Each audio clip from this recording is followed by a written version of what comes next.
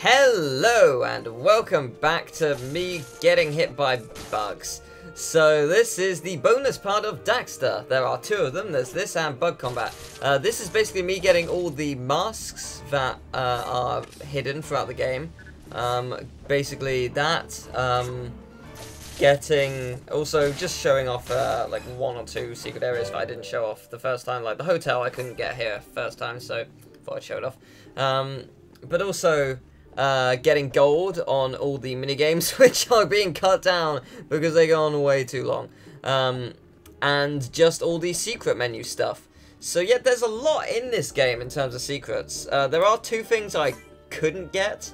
Um, one is basically a modified scooter. If you have 100% in Jak X and connect to Daxter with it, um, your scooter basically becomes pimped up um, and has a different paint job and flames and stuff um, on the decals. Um, and there's also the goggles that he wears in Jak, Jak X.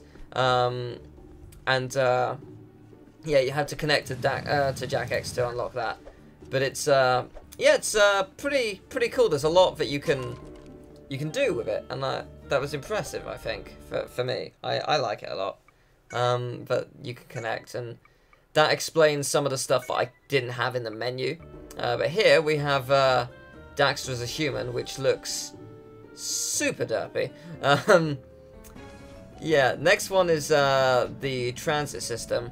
So you may remember this section, you climb along the, uh, I guess the netting area, and you can get killed in one hit by stuff. Um, it's, I thought it was going to be on the right of here, it's not, it's the left of here. Um, and there it is, you just drop down. It's uh, quite simple to find, but it's well hidden. So yeah, you, if you didn't recognize it already, you should now. It's just this area, just above it. Um, so yeah, it's uh, it's pretty cool. It's quite a cool, uh, cool, well hidden secret. That's the thing. Uh, all the secrets in this game are actually very well hidden. I really like it. Um, but yeah, let's see. What one is this one? Oh god, the smile on Ratchet's face is scary. I I don't like that. I don't know what it is about it. I just do not like it. Uh, next is in the uh, the lumber mill. Um, yeah, this is actually uh, it's actually probably one of the easier to find ones, but it's it's yeah no it's it's still well hidden. Like that's the thing. It's it's kind of easy to spot, I guess. Um, but I didn't. So, but yeah, you just go here and ta-da. Yeah, uh, fun fact, I spent ages looking around for it and just couldn't find it for a for a long time. and this one is oh god, some ah, it's so weird. Why these are scattered around? We may never know, but the final mask would be behind the Emerald Isle uh, gate. You just don't go into it. I'm actually surprised I didn't explore this area, to be honest. Like, this is the kind of thing I, like, I think I did that with every other level. Like, oh, there's a gate, there's something behind it. Nah, there's not, never mind. The one level I didn't try that is here, and there it is. So, yeah, we got, uh, we got the final mask, which is, uh, pretty cool. And that's, I believe, Sly. Yeah, there you go, Sly mask. Yeah, I thought at first the um the gaps missing on the menu was gonna. Jeez, that's creepy. Uh, I thought it was gonna be because like there were other masks for the cheat website didn't list. Oh, this glitch! Like, what the hell did I do? uh, it's just really funny. Um, but yeah, I thought there was something that I uh, that I missed. Um, but no, it's just uh, there are only six. So, or was it five? Anyway, yeah. Yeah, no, it's six, because there's the, uh, it was, uh, yeah, in the other levels, yeah, yeah, in the, uh, tanker and, uh, the prison. So, yeah, got them all, which is cool. I'm so glad I got the one in the prison. Like, my god, that would have sucked having to play through that again. But, uh, yeah, I guess, uh, before we, uh, show off the secrets, where it's an E3 trailer, um, like, artwork, um, the the first cutscene as a like recreation, like showing it through stages, uh, which is really cool. I like that. Um, a behind the scenes and uh, I think 3D character model kind of uh, thing. Yeah, as you can see, I've skipped already, because uh, it takes a while. It's It takes a long time to get to this point. And then it just gets super difficult around this point. I'm like, right, I'm going to get to 120. I'm going to make sure I get to 120. Do I get to 120? Nah. No, I do not. The, the phase just before 120 really just picks it up a bit. You'll see what I mean.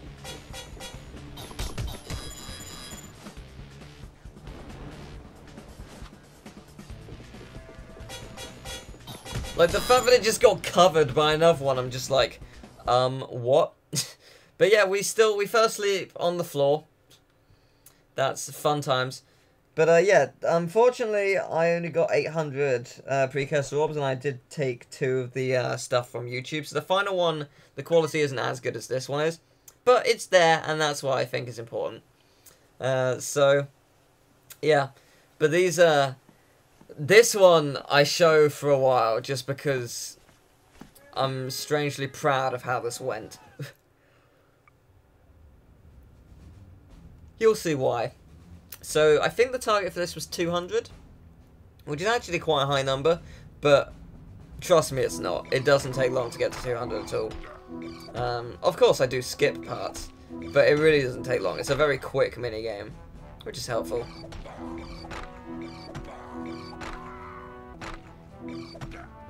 So yeah, we're already at 194 because I skipped 180, but that's not the point.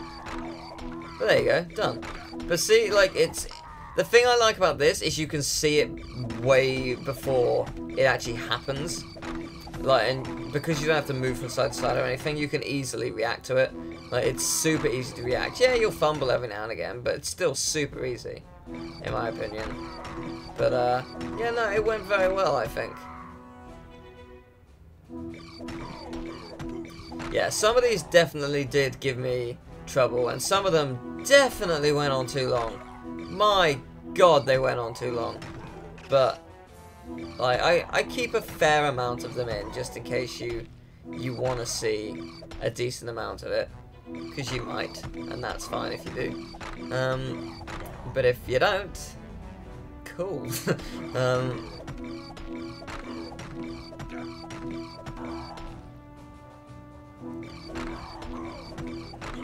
But yeah, so I guess I'll talk about the game as a whole because I, I really enjoyed this game. I thought it was a lot of fun. It was it was a nice tie-in and just it was yeah it was just a good time.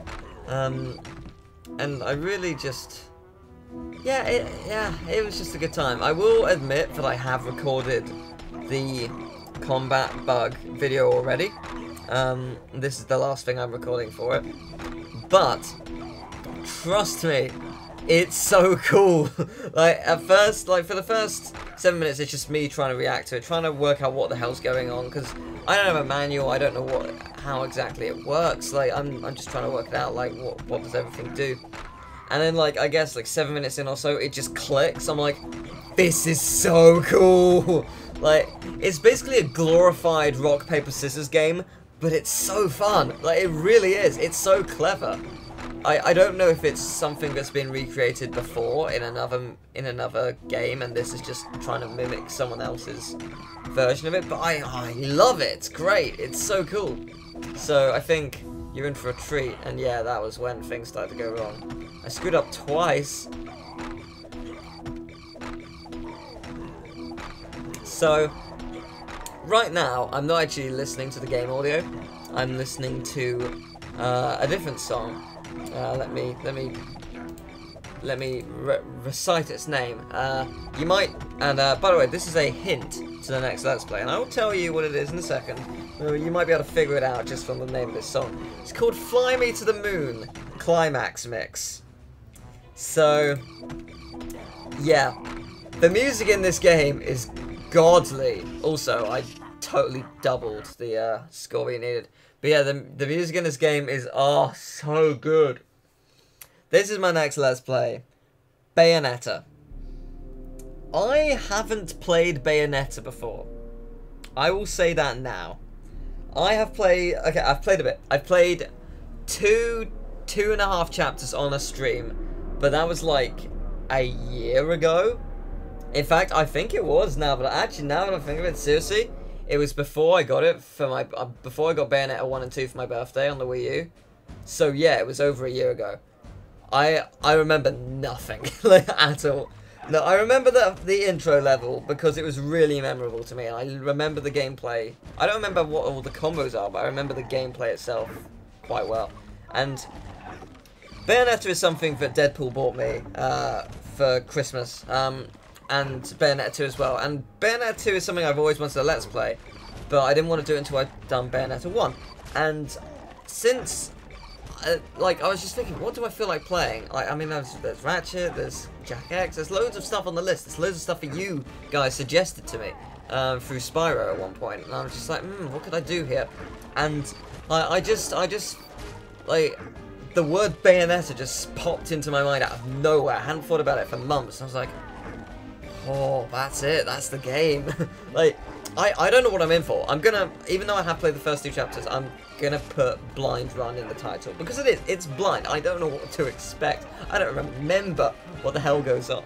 Um, but yeah, no, I just, it's something I was thinking, yeah, no, this could be a lot of fun.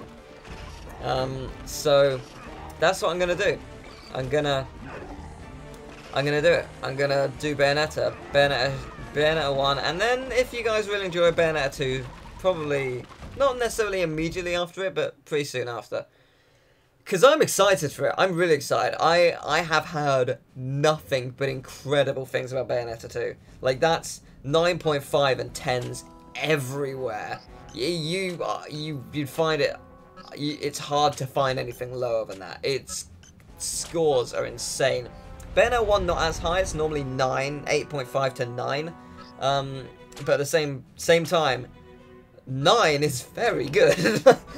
9 is super good. And I, I think I'm always much fairer on games than review than most reviewers are, like the, the big, big, big names like IGN and whatnot. I find I'm always much fairer to games.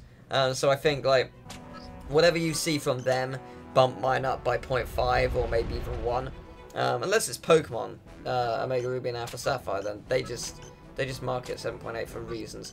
Uh, but yeah, like, I I think this is going to be one of those games where I'm like, this is pretty much perfect. I think like the thing I had a problem with when streaming it was when I streamed it, I wasn't used to how the game felt, and I was I was also very tired around that time. I don't remember specifically when it was, but yeah, I was just it was just you know it was a time when I, I was very tired around that point and uh like streaming things for a long period of time. I think I'd streamed some other stuff before and then Bayonetta for like two hours or so so I was exhausted by the end.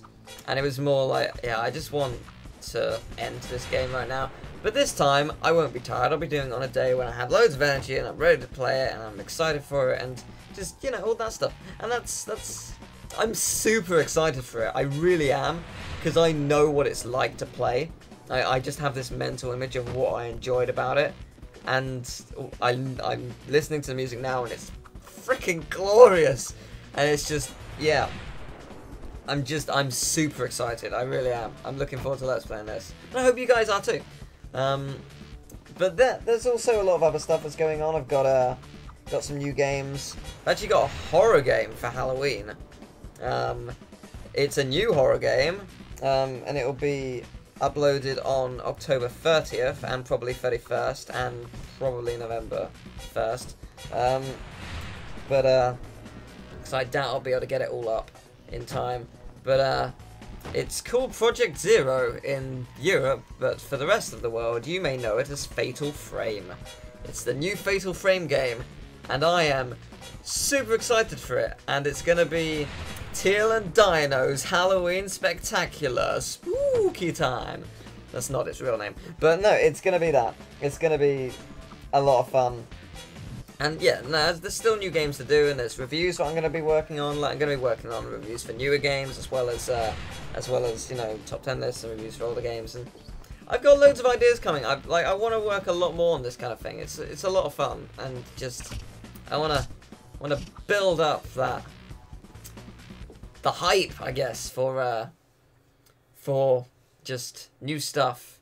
But uh, yeah, here you go. Here's the final mini game, and then I'll show you what you unlock uh, for them.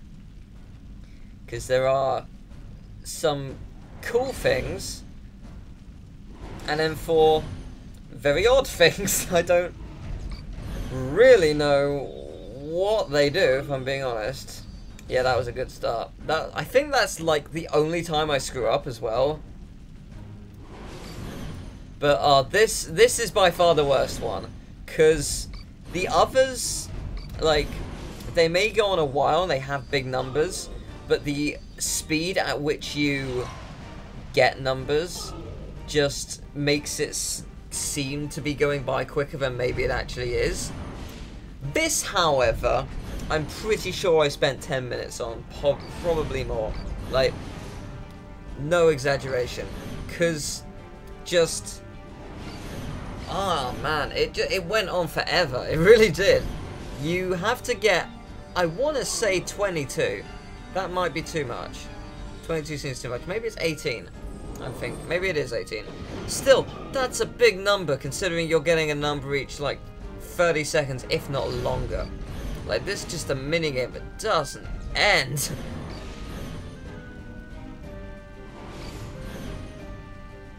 I think I get to about four and I'm like, yeah, skip. skip that. Nothing is worth this. I think the last one's actually super kind to me as well. There's no of the turning ones, so I'm like, oh, that's nice. Because, like, I you get used to the turning ones uh, quite quickly, but it's still, like, the, oh, I might screw it up. I don't want to screw it up. And then you don't screw it up. So, yay.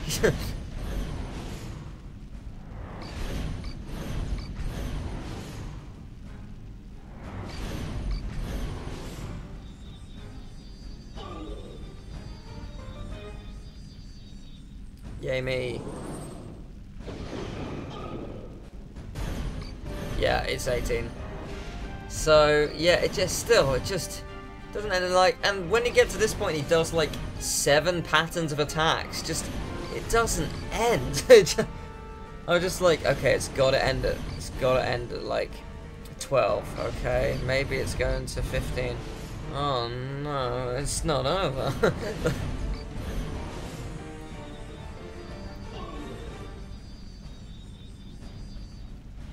One to go. At this point, I was just like, end, end, please. People are messaging me on Skype and I want to speak to them. Please, end. that was pretty much the mentality of it, really. But yeah. No, I seriously though, I did, I did enjoy this game. It was a blast to go back and play it again. It's something I've wanted to do for a while. Um, and it's just, it's so cool.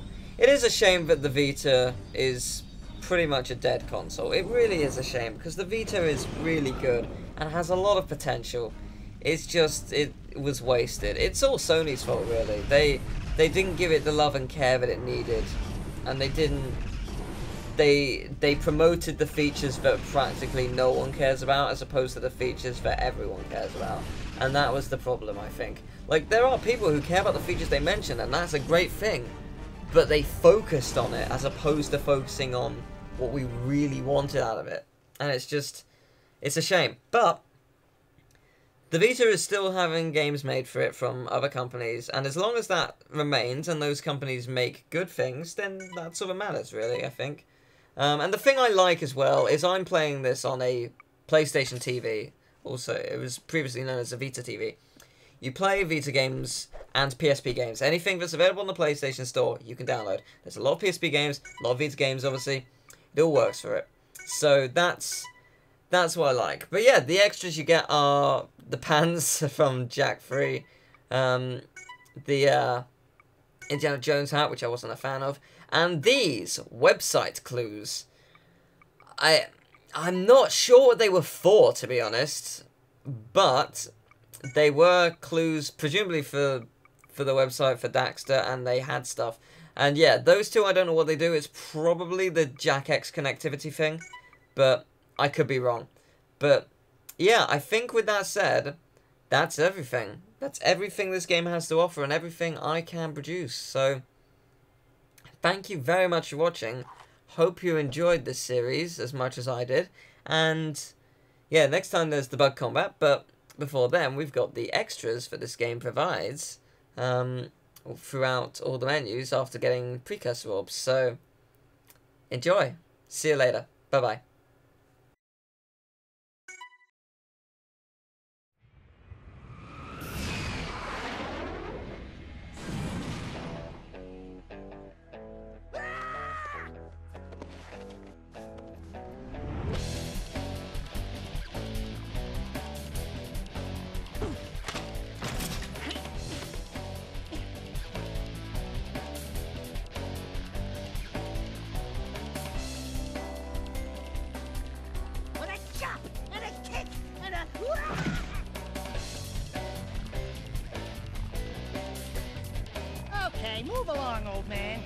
You had me at hello, but you had to push it.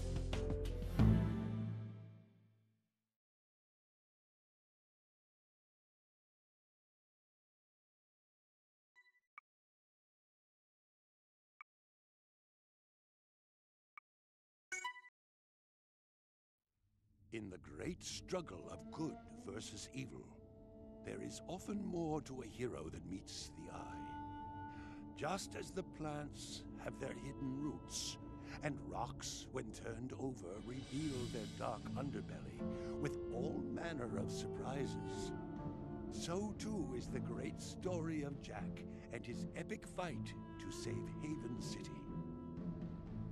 Every mother's child has heard the story well, but most have heard only half the tale. For as great as Jak was, he would never have succeeded without his often forgotten but faithful sidekick, Daxter. In my many years as a sage, and trust me, it's a big number, I've learned one very important truth. Behind every great hero, there is always a wisecracking, obnoxious nincompoop!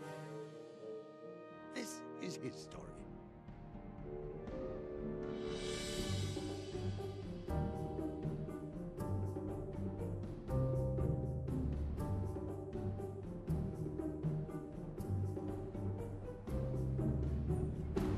I can't do this anymore. It's too dangerous.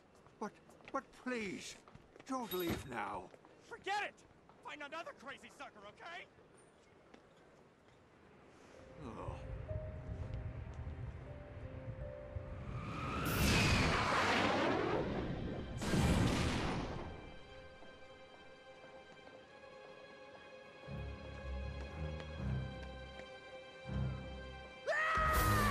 Forget the rat! The Baron wants him.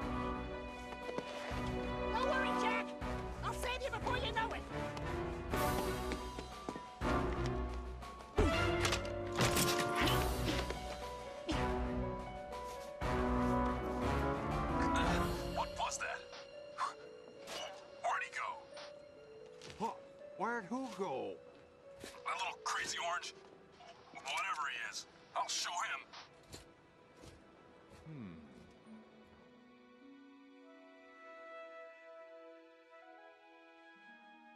And there I was, toe to toe with five, uh, 55 of the nastiest lurkers you ever saw.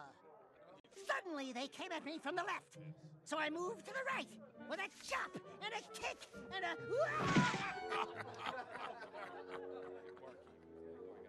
Wait, come back! I, I've got more!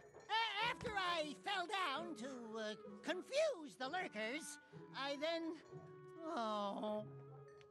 Can you speak up, son? My ears aren't what they used to be. Tell us the one about how you can knock guards silly with a single blow. What I can? Oh, oh yeah, yeah, yeah. Those guards don't stand a chance against the old one, too. Yes, I'm pleased to meet you also. I'm Ozmo, proprietor and chief spray technologist for the Critter Ritter Extermination Company. Let me get right to brass tacks, young man. I need someone like you. Someone with your ingenuity. That's me. Someone with your strength, That's right. your resourcefulness, Yep, got it. your bravery in the face of certain death. What? Okay, move along, old man. You had me at hello, but you had to push it. In short, would you like a job working for me? I'll make it worth your while. Forget it, buddy. I don't know nothing about exterminating, and I hate bugs. Although, I could always fake it. Hey, what? You take it. Wonderful. Meet me at the shop tomorrow. And welcome, welcome aboard.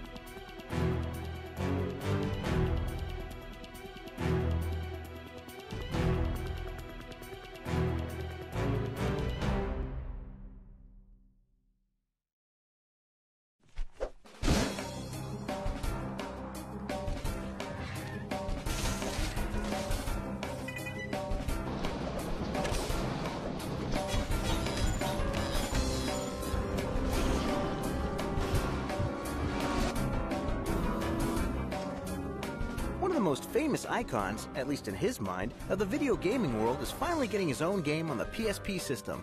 And it's about time. Okay, baby, I'll play along. Ever since the um, the first um, Jak and Daxter game, actually, people have been wanting to play Daxter and to play as Daxter. He's, uh, in my mind, the best character uh, in the series. I mean, Daxter was this fantastic character. And he kind of had to ride around on Jak's shoulder for an awful long time. And now he sort of gets to take center stage. Just give me the bug juice, Pops, and make it a double. I'll hose down every creepy crawly that moves. Daxter is definitely a wiseacre. That was always kind of a contrast with Jak, who's more serious. Daxter's more crazy and fun-loving, and that's how Daxter PSP is built.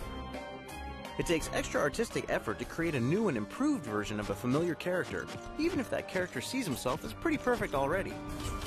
Everything with more than two legs start trembling, because the Daxtonator is in the building. I wanted to bring in a little more flavor because we needed Daxter to be on his own to look great on his own now that he's without Jak. For example, we uh, added a fur on Daxter, which was one of the great things that actually brought, you know, Daxter to a different level.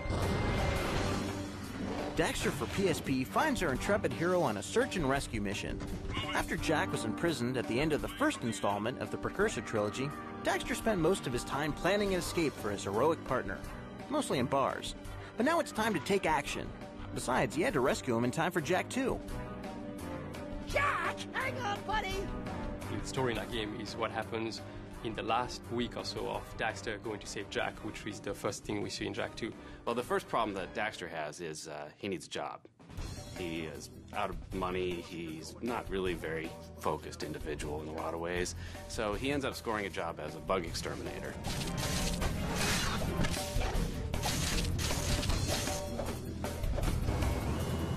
As you follow Daxter on the job, some familiar and not so familiar faces pop up in all sorts of locations in this full-size platformer. The characters in the Daxter PSP game are mostly new. So there's Ozmo, who is Daxter's boss. Your extermination company. Let me get right to brass tacks, young man. I need someone like you. Someone with your ingenuity. That's me. And there's Taryn, who's kind of his competition, but also his love interest, and you know how that goes. And you're too scruffy to be a creeper. So, what's your game? I could ask you to say. Sweet cheeks. And also, a really fun character in the game is uh, Simon, who's Ozmo's son, who's a dude. Thanks, dude. Welcome, dude. Dude!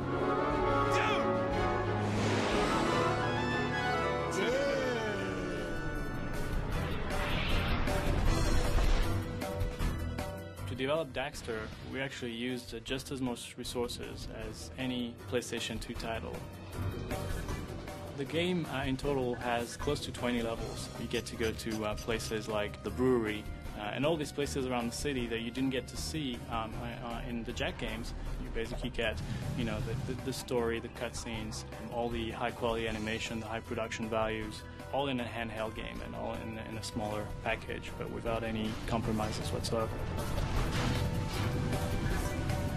As Daxter ventures and battles through this world, check out his cool new moves and even cooler weapons and combo attacks. There are two things about Daxter that we really wanted to emphasize in how he moves and how you control him. We made sure that Daxter can get down on four feet and sneak past enemies, or he can climb walls on four feet. The second thing is Daxter's kind of crazy. And so the moves that he does have to have a certain amount of craziness to it. They, they, he gets really enthusiastic. Lest Dax forget, the main mission is to save Jack, but it's so easy to get sidetracked. There are precursor orbs and skull gems to collect, secrets to discover, and levels to unlock. And at long last, Daxter rules the world. In his dreams. We created some really, really challenging and neat mini games based on the idea of Daxter taking a nap and dreaming that he's something fantastic. Well, the dream levels were, was a chance for Daxter to fall asleep and become the hero he'd never been. I know Kung Fu. As Daxter will tell you, small things come in great packages. Uh, no, it's great things come in small packages. Anyway, this is a great game for the PSP. Daxter is really the first game on the PSP that gives you a full blown action platform game experience on a handheld. It was a huge undertaking. I think it was it was greater than we ever imagined it was going to be. It's been our whole life pretty much for two years with every guy in, in this place. Has poured everything he had into into this game. Um, Daxter is going to be, you know, a really big milestone on, on PSP to show what the platform really can do and on it, and I think it's going to surprise people. I mean, it's a blast. It's been a blast to develop a game for Daxter because he's such a fantastic character, and it'll be a blast to play it as well.